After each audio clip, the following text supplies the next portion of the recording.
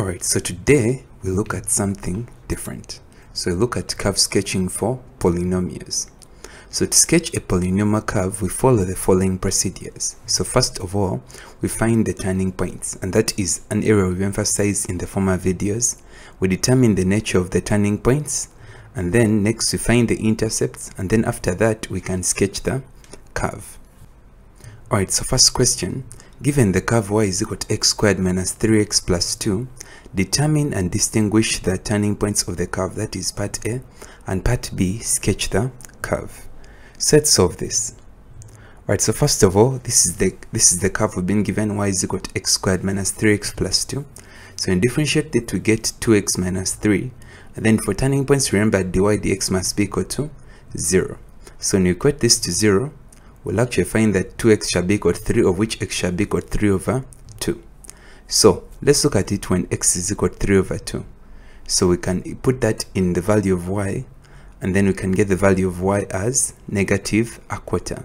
So now that we know the value of y, we can say the turning point is 3 over 2 comma negative a quarter. So let's look at the nature of this turning point. So now we get the second derivative of this, of which now this shall give me 2. Now we can say that 2 is greater than 0, so therefore this is a minimum point. Now that we know the nature of the point, we can now find the intercepts. So find the intercepts is very easy. So what we get is the general equation of the curve that we are given. So look at the case when y is 0. So when y is 0, we'll have all these values equating to 0. Now these, when you differentiate, when you get them, when you solve them quadratically, we'll get x as being equal to 1 or x shall be equal to 2. So now we can say that we have two different points. So now we can see when y is 0, we can have 1, 0, then we can also have 2, 0. How about when x is 0? When x is 0, we shall have y being equal to 2. So that means the point shall be 0, 2. So therefore the intercepts are 1, 0, p, the second one is 2, 0, and the next one is 0, 2. So now that we know this, we can actually plot this in a curve. Alright, so what happens first is when you're plotting this, I encourage you to first place the intercepts as you can see here. So where is 1, 0? So 1, 0 is right here. Then 2, 0 is actually right here. And then we have 0, 2 right there. And then next after that is you can place the turning point. So you can remember that the turning point was 3 over 2 comma negative a quarter. So this is the point right here. And then once you've done that, you can just sketch a curve connecting those different points. And that's how you get the curve for y is equal to x squared minus 3x plus 2. So let's look at the next question. So given the curve y is equal to 7 minus x minus x squared, determine and distinguish the turning points of the curve. B. Sketch the curve. So solve this. So this is the curve we have. So dy dx shall be equal to negative 1 minus 2x. So for turning points, remember dy dx is 0. So we can equate this to 0 and we'll get x as being equal to negative a half. Then when x is equal to negative a half, we can find the value of y. So y shall be equal to 29 over 4. So therefore the turning point is negative 0.5 comma 7.25. Let's look at the nature of this turning point. So now we can see that the second derivative, we can say the second derivative of this shall give me negative 2. And then we can say this value is less than 0. So that means that this, this point here, this turning point is the maximum point. Alright, so now that we know that we can find the intercepts. So now we can equate the general equation of the curve to 0 when y is 0 and then we can actually get x as being equal to 2.193 or x being equal to negative 3.193 and then these are the two turning points that we get when y is 0 then when x is 0 we shall get y as being equal to 7 so this is the turning point to get when x is 0 so therefore the intercepts are that. So let's sketch this curve. So first of all like I encourage you plot the different intercepts that you find. That's why they are dotted as you can see right there. So these are your intercepts right here. So this is the one that you got. Then this was another intercept right here. And then this was another intercept. And then this was your turning point right? As you can see everything matches. And that's how you sketch this curve. So next question find the coordinates of the stationary points on the curve y is equal to 2x cubed minus 9x squared minus 60x plus 11 and distinguish between them and hence sketch the curve. So this is what we have.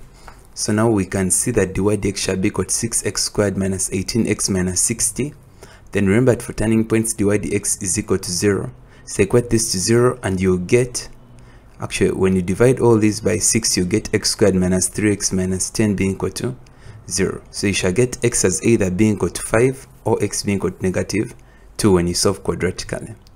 Now when x is equal to 5 we'll get y being equal to that which is negative 264 so turning point is 5 comma negative 264 and then let's look at the nature of this turning point. So what we do is we get the second derivative. So the second derivative here shall be 12x minus 18 so now we can say this shall give me 42 when I substitute for the value of x so you can say this value is greater than 0 so therefore this turning point is a minimum point. Now when x is equal to negative 2, which was the other value we got for x, this is what we have. So y shall be equal to 79. And then the turning point is negative 2 comma 79. So nature of this turning point, we get its sec we get the second derivative again of the general equation of the curve and dy dx and then this is what we have. So substituting for the value of x that you have right here then we will have negative 42 so this value is less than 0 so therefore this is the maximum point. So that means we have both a maximum and a minimum point on this curve. Let's find the intercepts. So this is what we have. When y is 0 this is what we'll have so x shall be equal to that or that or that. So we have three values of x and y is 0 so therefore we have three turning points. Then when x is 0 we'll have y being equal to 11 so the turning point will be 0 11 so therefore the intercepts are as given. So let's sketch this. So now first of all place all your turning points on the curve and then place the turning points so remember the turning points will be the points where the curve makes a turn as you can see right here. So this was our turning point for this our minimum turning point. Then this is our maximum turning point. Then as you can see this is an intercept this is an intercept this is another intercept and this is another intercept. So when you connect all of them this is the curve that we'll have. Question 4 find the coordinates of the stationary points on the curve y is equal to 5x power 6 minus 12x power 5 and distinguish between them and hence sketch the curve so this is what we have. So when I differentiate this, dy dx shall be equal to 30x to the power 5 minus 60x to the power 4. So for turning points, dy dx remember is 0. So equate this to 0. Then I can set, I can factorize out 30x to the power 4. It will be 30x to the power 4 times x minus 2 being equal to 0. So either this is equal to 0, of which x shall be 0, or x minus 2 shall be equal to 0, of which x shall be equal to positive 2. So let's look at it when x is 0. So when x is 0, y shall be equal to 0. So therefore the turning point is 0, 0. Then the nature of this turning point, let's find the second derivative of this, and then I'll have this. So I can substitute in for 0 where there is x, and then I'll have the second derivative being equal to 0. So therefore, since everything is 0, 0, and the second derivative is equal to 0, this is the point of inflection. So when x is 2, y shall be equal to negative 64. So the turning point is 2 comma negative 64. So let's find the nature of this turning point. So it's second derivative, so plug in a 2 where you have the x, and then I'll get 480. So this point is greater than 0, so therefore this is the minimum point. So to find the intercepts, this is what we have. So when y is 0, I can factorize out x to the power 5 I can say that x is either equal to 0 or x is equal to 12 over 5 which is 2.4. So these are the two points I get when y is 0. So when x is 0, I'll have y being equal to 0. So the intercept is also 0, 0. So therefore the intercepts are 0, 0 and 2.4, 0. Alright, so this is one of your turning points. This is the other turning point 0 0 which we said is a point of inflection. So as you can see we sketch it as a point of inflection. Then this is the minimum point and that's why we have it shaped that way. And this is the curve that you have for y is equal to 5x power 6 minus 12x power 5 alright so next question.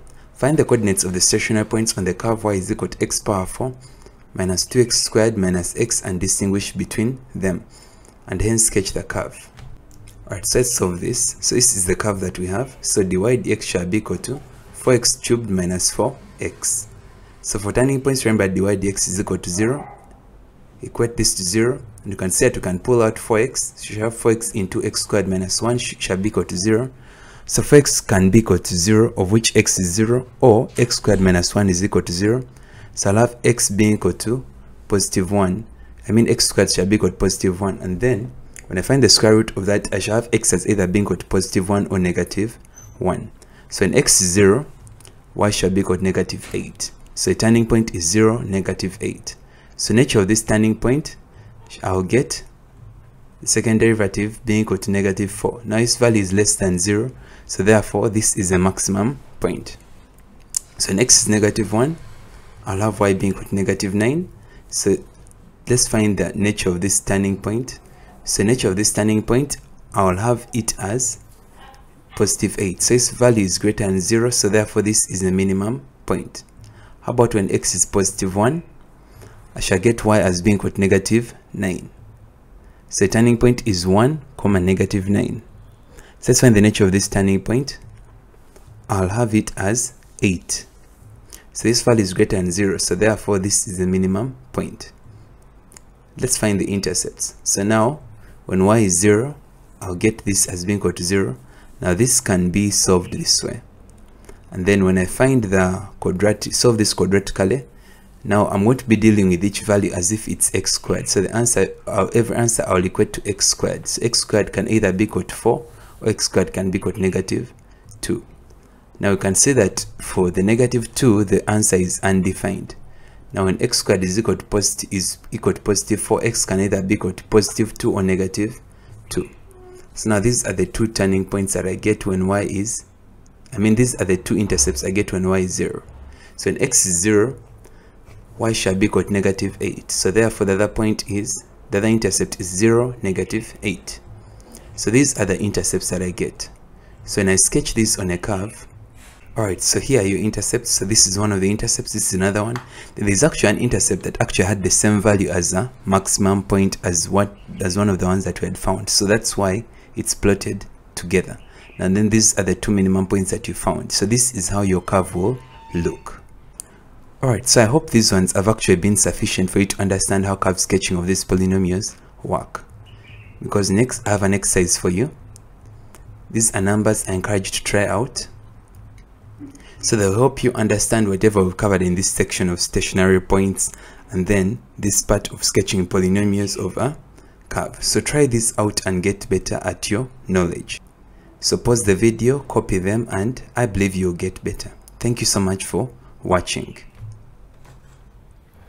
Thank you so so much for watching this video. I hope the video really really helped you. If it did, feel free to share the video with all your friends and help as many as you can. And then if you really like the video, feel free to give the video a like or a thumbs up. And then tell me in the comments if the video really helped you and I'll try to get time and reply to your comments. And then if you're new to this channel I encourage you to join the community by subscribing. And then make sure to hit the notification bell so that get updated every single time I upload a new video. Thank you so much for watching and I'll see you in my next video